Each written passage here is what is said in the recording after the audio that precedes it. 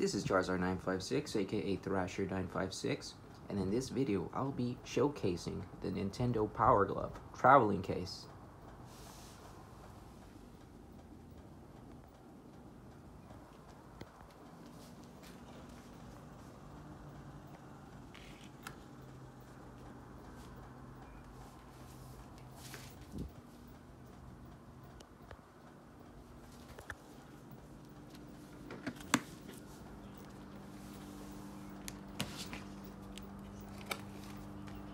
It's a power glove, super glove ball.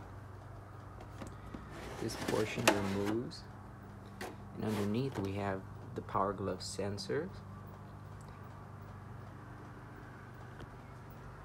And underneath we have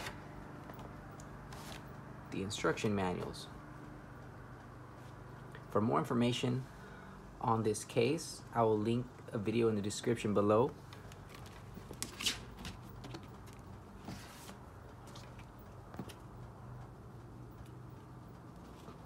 Thanks for stopping by.